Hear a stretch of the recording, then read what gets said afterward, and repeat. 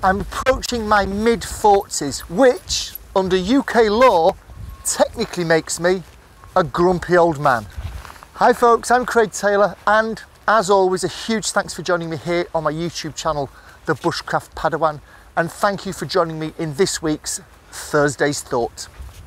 So why am I being a grumpy old man then? Well, it's because this week I've been thinking about what my biggest bushcraft bugbear is. Yay, one take. Try saying that, biggest bushcraft bugbear. I've been thinking about what it is.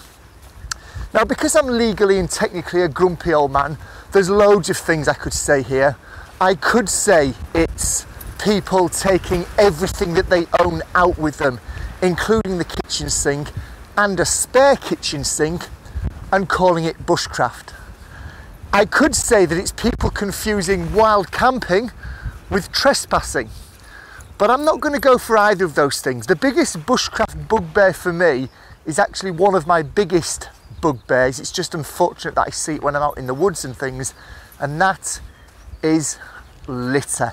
Now, let me be clear what I mean about this. I'm not necessarily talking about people who don't adhere to leave no trace. Clearly, littering is leaving a trace.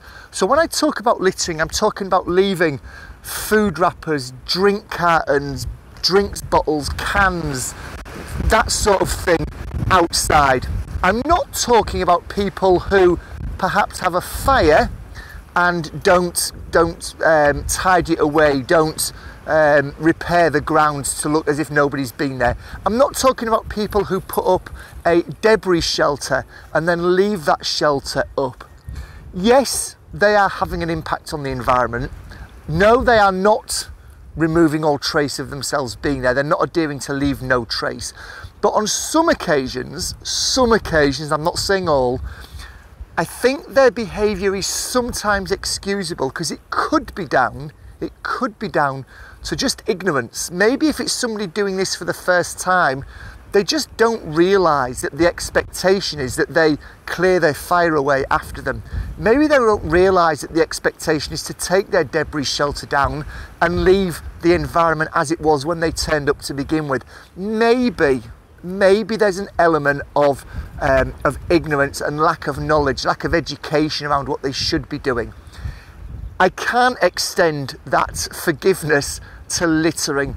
I don't think there are many places where littering is is a common everyday excusable habit. Yes, I've been to places in the world where a blind eye is turned to it because there are far bigger problems in the country than littering. Some some really developing countries, some war-torn countries, things like that.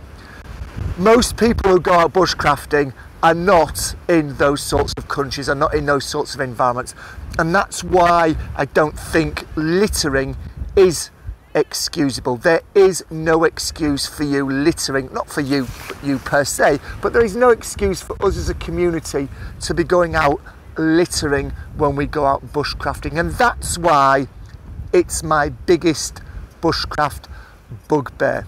But what's yours? What's the one thing that you see or hear either outdoors or perhaps people doing online and, and, and telling stories about what they're doing outdoors, what's the one thing that is guaranteed to raise the hackles on the back of your neck? What's the one thing that's guaranteed to spike your blood pressure in relation to your bushcraft bugbears? Do let me know down in the comments below, wherever you're watching and viewing this. Thank you, as always, for watching. Thank you for, uh, for letting this grumpy old man rant on for just a few minutes. If you're a subscriber, thank you. If you're not, there's been a red subscribe button in the bottom right-hand corner of your screen. Why not click on that and keep updated on all my future video uploads. Like, share, subscribe, all the usual balani at the end of a video. I'll see you really soon. Cheers.